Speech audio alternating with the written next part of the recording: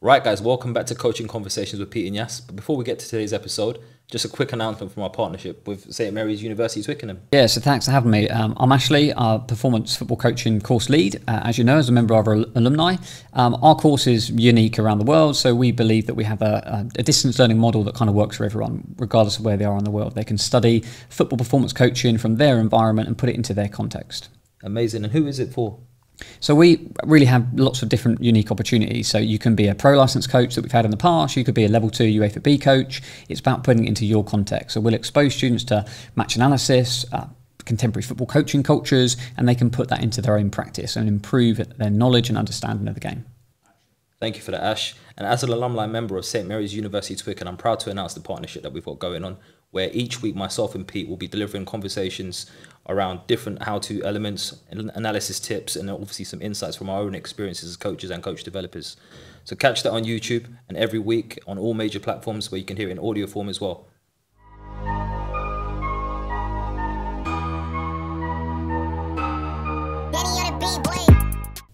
Right, guys, welcome back to Coaching Conversation with Pete and Yas. My name's Yas. My name's Pete. Right, guys, welcome back to Coaching Conversation with Pete and Yas. My name's Yas. My name's Pete. and we're here today for uh, our new show and a new segment on our show called What's Your Strategy? Where basically each week myself and Pete will be looking at some different ways of playing. Um, and today's theme is going to be looking at playing out from the back, where Pete will be explaining us and showing us his strategy in possession, and I'll be looking to counter it out of possession. Never happening. Pete, straight over to the board then. Right, Pete, we're at the table. What's your strategy? Today's theme is going to be looking at playing out from the back. Talk to us. Okay, so obviously we've got this set up here at the moment. So we, let's, let's put it so it's like this. So they've decided they're going to press us high. So you, you, you, you're, you're going to press me high, all right? Because everything is, is, is contextual, isn't it? So so I've got my two centre backs in here, got my full backs and my wide players here. You've decided that you're going to press us really, really high. It's going to get up to the halfway line. So it's quite congested in here, okay? And you've left this space in behind. Now, a couple of things that I'm thinking about here is, okay, playing out from the back. Are we talking about playing out from the back from a point of view of, this is very rough by the way, because um, you can move your, your players where you want to move eventually. I might be thinking, do I draw you in by the goalkeeper making that pass and then you might get that and the play, the goalkeeper's part of the press, we get some movement, we get out of there, so on and so forth.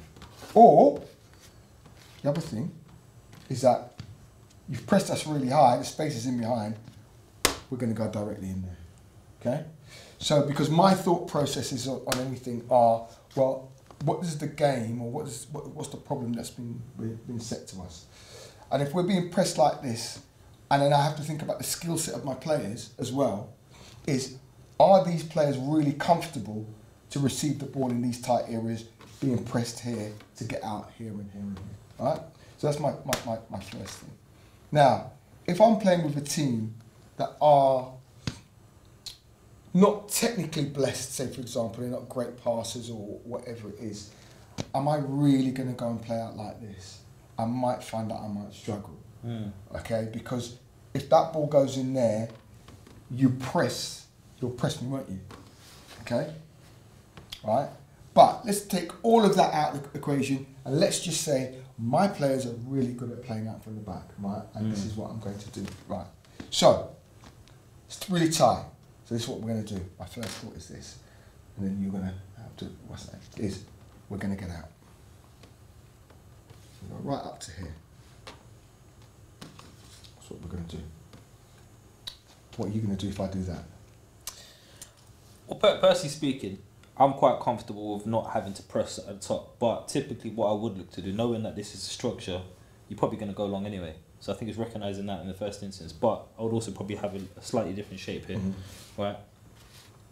I'm not a big fan of my centre forward pressing anyway, and typically I would go for either a kind of a three-five-two or or four-three-three kind of sh- setup. So let me just shift it to that slightly there. Mm-hmm.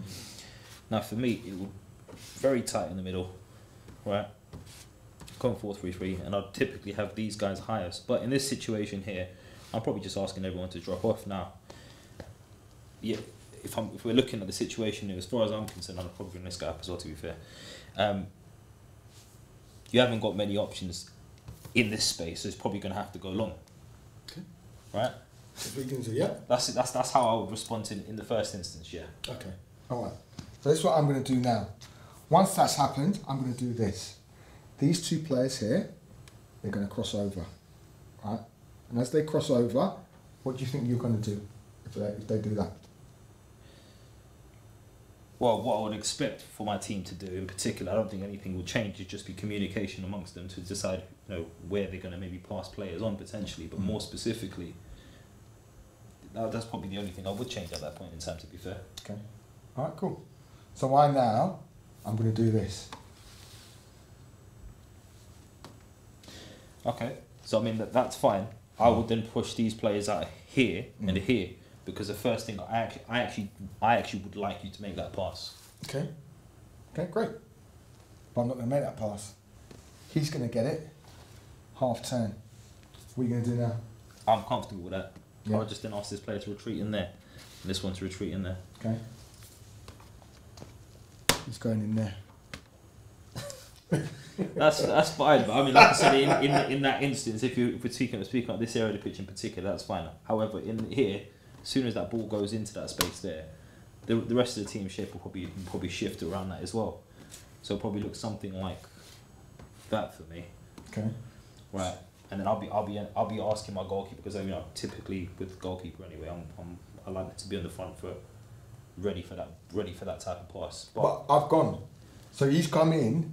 is You've sent these. Two, remember what you've done? You've Yeah. done that. Fine. So if they start, if they go back to where Right, they that's were, what you've done. yeah, that's fine. Right. So if they Okay. go back to where they were, the moment I realise that ball's been released, their first priority is to do that. But actually, these will will all adjust with that. Okay. So by the time the player's on it, half Yeah. turn or not, Okay. we we're, we're in a much more compact. But shape. look at that space. I've stuck it in there. I'm But I'm, but I'm comfortable though because you know once once once He's quick. He might be quick, but then if a goalkeeper, if I'm speaking to my players in particular on this occasion, and that player is quick, I'm going to ask my goalkeeper to make a have even a more aggressive start. One that might actually tempt that pass to happen. Yeah. Okay. He's in. Okay, he's in. He's, he's in, now. He's right. in. He's in. And you there. That's going over the top of me. You're scoring. I'm Nah. scoring. I'm. sc- I'm backing him. He's going to score from there. well, let's one, one thing to say. We don't, we don't know who this individual is, right? He's quick. He might be quick. He might be quick. But the first thing, I, again, you know, if we're looking at going back to the start where you're looking to play out from, right? Yeah. If I know that, then you know these these are obviously key, key But you don't know it. But now I now I do because you've told me he's quick. so at which point I'm, I'm, I'm going to say this to you now. on. I've already got you. I've already got you. I, I don't agree. I, don't, I personally don't agree. I'll tell you why I've already Go got you. I'll tell you why I've already got you. Go for it. Because once you move those players to go in here, right, and this player makes because this this is the thing because I'm clearing this space because I want to get this player on the ball. Mm. So I might want to get this player and this player on the ball. Now, if you stay there, you've played right into my hands. Yeah. Especially if because the thing about it is, is if they don't drop off straight away, right, which you you might might- say you might you, you might do Yeah, sure. right? Now, if that ball gets played in here, I've got another move. I'm gonna just drop one in there. Yeah, I mean, just just to be clear with, with these two here, I think Mm. it's, it's less about them going towards these players, and Mm. if you like, more about them making sure the ball doesn't find its pass into your fullbacks. So Mm. obviously, in this case, you know, these guys Mm. have dropped in, so that's why they're just to make sure that the ball doesn't go out wide. I want the ball to come centrally because that's where we're set up to defend Mm. essentially. Now, you're right. You know, obviously, if I recognise that he's got time and space on the ball, then Mm. that, that might encourage me and, and the rest of my team to, to drop off slightly. Mm-hmm. But fundamentally, what we're looking to do in the first instance is I'd be looking to set a trap so that I'm encouraging that ball there. Now, if I get that ball there, then I can re- then I can I can then respond to that appropriately. But first things first is if I'm coaching this, I want my team to play the way that we want to play rather than be dictated by you, if that Mm. makes sense. But if we're taking into account you're saying that this guy is quick on the ball or whatnot, if that is the read of the situation, I've got no problems with this player spending more time on the ball. So actually dropping off and allowing that time person time and space Mm. on it to then decide whether they do want to try and do that. Mm. But depending on what level you're playing at, depending on what um, system the opposition might be playing in, depending on what experience the coaches might have, it's possible that, especially at a lower level,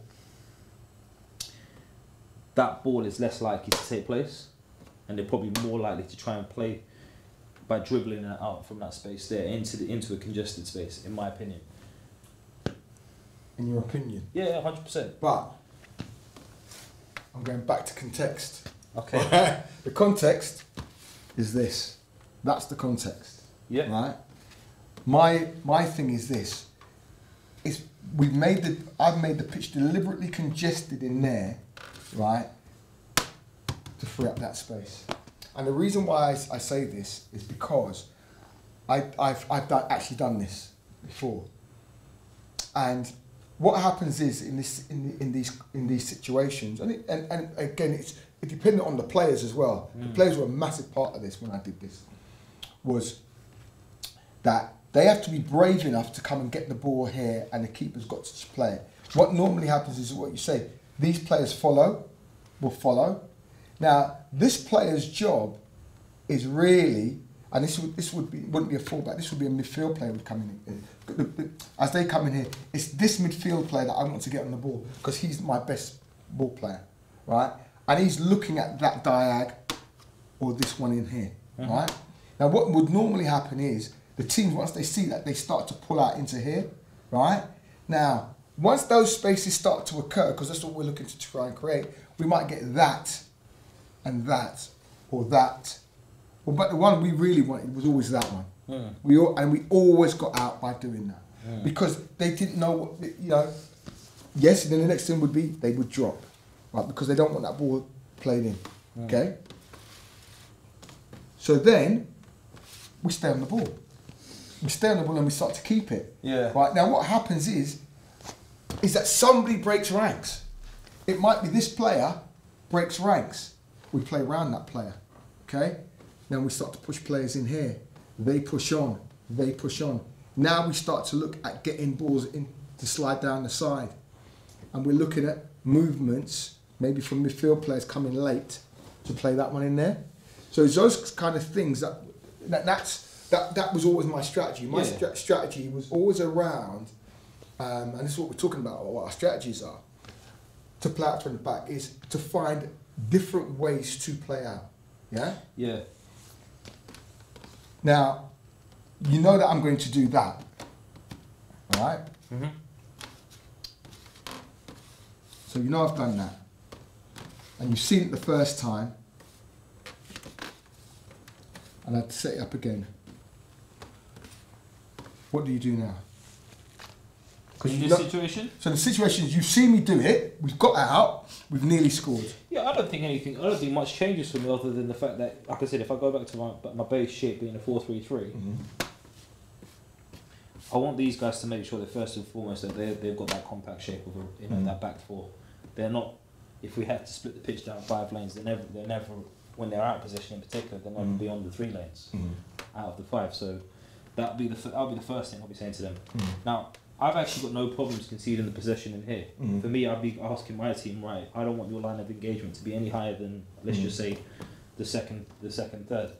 So on entry to the final third, for me, the only players that should enter that space, in my opinion, for, the way that I want my team to play, would be the two wide players in, in, as part of the four three three. So obviously in this case, that's not. But the, the instruction more specifically for them would be allow centre backs on the ball, but don't allow the centre back to find a pass into the fullback.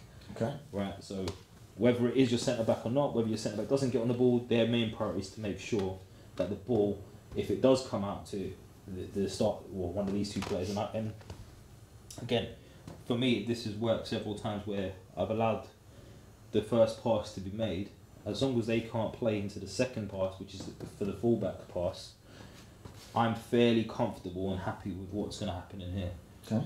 Because the rest of the team know that their line of engagement is going into the final third on entry to the final third rather than rather on entry from the defending third into the midfield third for the opposition.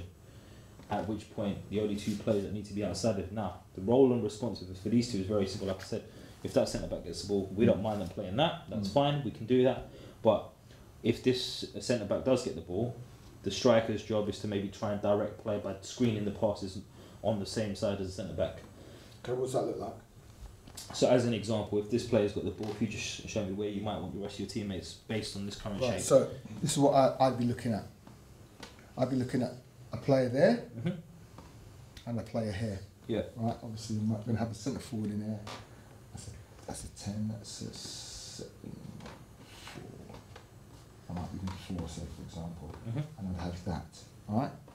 So the idea is if you are going to allow me this space here, Yeah. right, to actually play a little box around you. That's fine. So in the first instance, if that's what you're going to go for, then I would actually be saying to my teammates or to my players, right, we want to get goal side, ball side there, goal side, ball side there, and we operate in a shape like this, which.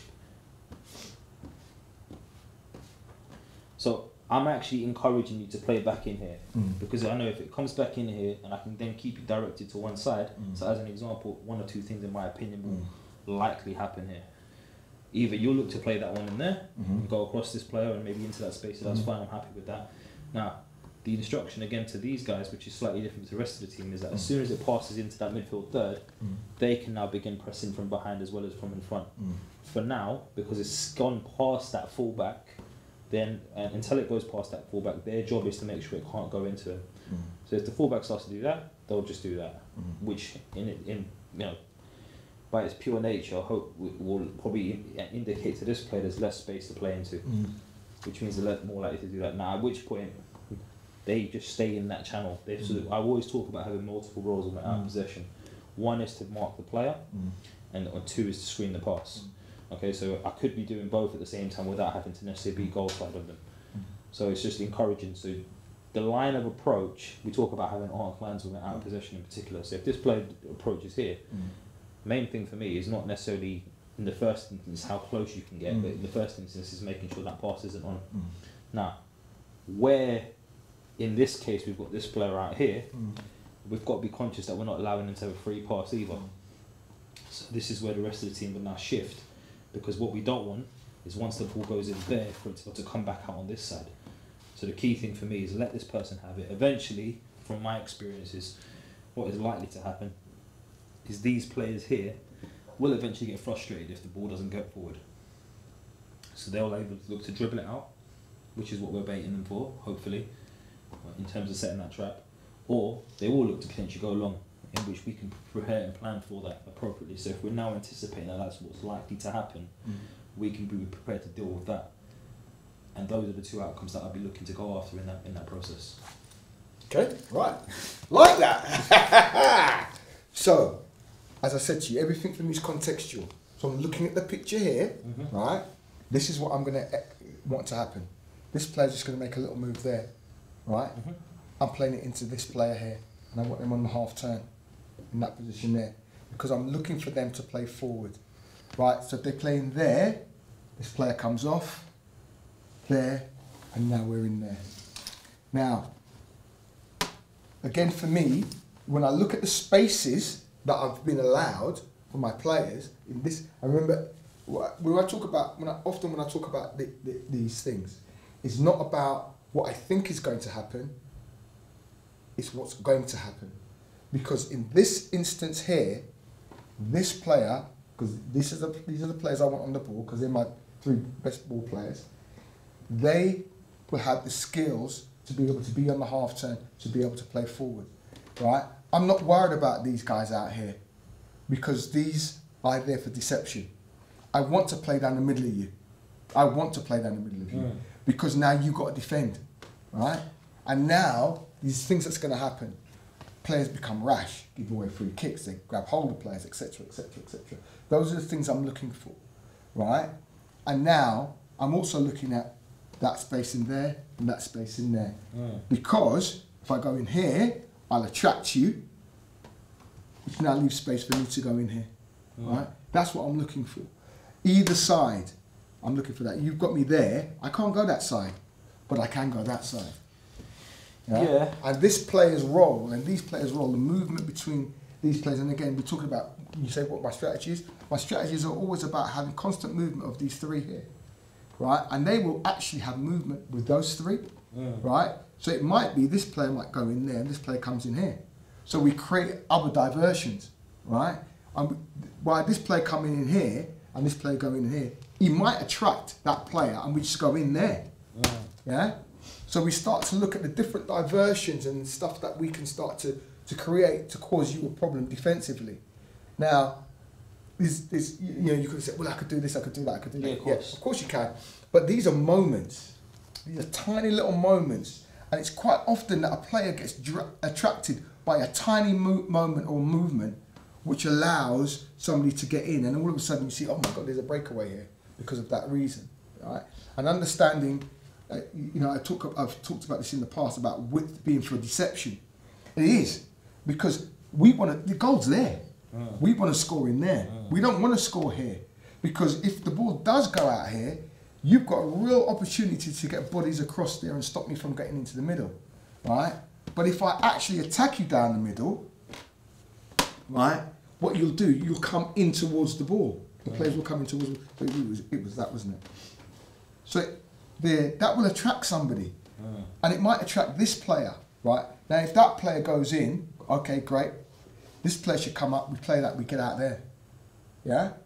And obviously, things will move. This player might come in here, and that player Yeah. might do this and might do that. But it's but by in the first instance creating a space here, we start to because again, most teams don't see that.